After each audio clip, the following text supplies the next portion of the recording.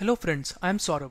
Let's have a look at another interesting problem today which is how to create a balanced binary search tree from a sorted array. So the problem statement is, given a sorted integer array of length n, we have to create a balanced binary search tree using elements of the array. Let us first understand what is balanced binary search tree. A binary search tree is balanced if height of left subtree and right subtree of root differ by at most 1. Left subtree is balanced, right subtree is balanced. Consider following BST. Is this balanced? Height of left subtree of root is 2 height of right subtree of root is 1 so the difference is 1 left subtree is balanced and right subtree is balanced.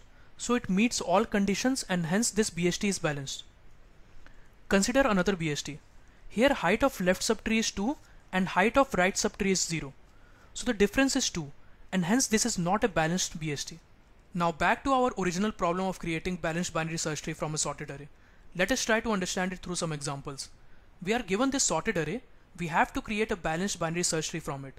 So the solution here would be, consider another example. So the solution is, consider one more example. For this array, balanced binary search tree is, of the examples we just saw, do we see a pattern here? If we look closely, the root node is middle element of the sorted array. Now let's consider the left subtrees of the binary search tree shown here. Again we observe the same pattern. The root nodes of left subtrees are again middle elements of left half of the sorted array. For example, consider the highlighted BST. The root node of the left subtree is 2, which is the middle element of left half of the sorted array from 1 to 3. Same is true for right subtrees as well. So our observation is that root node is middle element of the sorted array. What will happen if we do not take middle as root here? Consider following binary search trees created from this array. So is this balanced? No, it is not. Is this BST balanced? No, it is not. Is this BST balanced? No, it is not. Now let's have a look at the algorithm for solving this problem. These steps will be explained in detail with an example in subsequent slides. Do not worry if you do not get it right away. So we initialize start equal to 0 and equal to length of array minus 1. We calculate mid which is start plus n by 2. Then we create a tree node with mid as root. Let's call it A.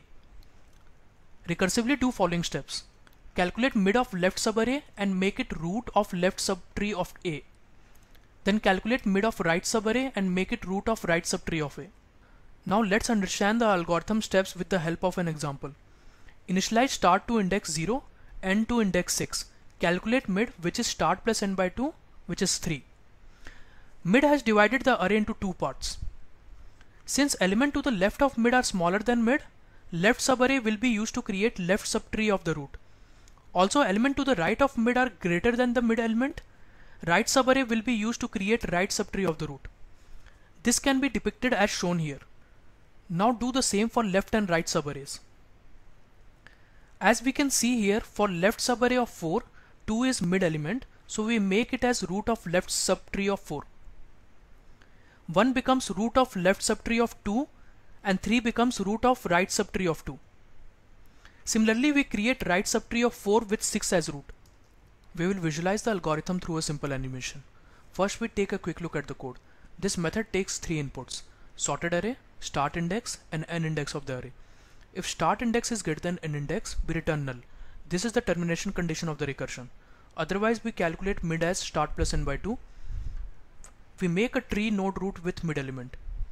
Then we recursively call create BST for left and right subarrays to get roots of left and right subtrees. Finally we return root. Let us start with code visualization. Here start index is 0 and end index is 8. Since start index is less than end index, we move on to next step. We calculate mid which is start plus end by 2 which is 4. Next we create a tree node with mid element. Next we call create BST function recursively for left subarray. Here start index is 0 and end index is 3. Since we are calling create BST function recursively, we store function state in a call stack so that when execution of call for left subarray returns, we can resume execution for current function. For simplicity, we are showing only start and end values in the call stack. Let us resume our code execution. Here start index is 0 and end index is 3. Since start is less than end, we move on to next step. We calculate mid, which is 1. The next step is to create a tree node with mid element. Next we call create BST function recursively for left subarray. Here start index is 0 and end index is 0. We store current function state in a call stack. Here start and end both are 0. Since start is not greater than end, we move on to next step. We calculate mid, which is 0. Next step is to create a tree node with mid element. Now we call create BST function recursively for left subarray. His start index is 0 and end index is minus 1. We store current function state in call stack. Here start is 0 and end is minus 1. Since start is greater than end, we return null here. We go back to our previous call stack where start index was 0 and end index was 0. Since null was returned from previous recursion call, we set root.left to null. We move on to next step. Here we call create BST function recursively for right subarray. Here start index is 1 and end index is 0. We store current function state in call stack. Here since start is greater than end, we return null. We go back to our previous call stack where start index was 0 and end index was 0. Since null was returned from previous recursion call, we set root.right to null. Finally we return node 1 from here. We go back to our previous call stack where start index was 0 and end was 3. We come to this step. Since node 1 was returned from the previous step, we set 2 dot left to 1. We move on to next step. We call create BST function recursively for the right subarray. Here start index is 2 and end is 3. We store current function state in call stack. Since start is less than end here, we move on to next step. We calculate mid, which is 2. The next step is to create tree node with mid element. Now we call create BST function recursively for left subarray. Here start index is 2 and end index is 1. We store current function state in call stack. Here start is greater than end, so we return null here. We go back to our previous call stack where start index was 2 and end index was 3. We reach to this step. Since null was returned from previous recursion call, we set 3 dot left to null. We move on to next step. We call create BST function recursively for right subarray. Here start index is 3 and end index is 3.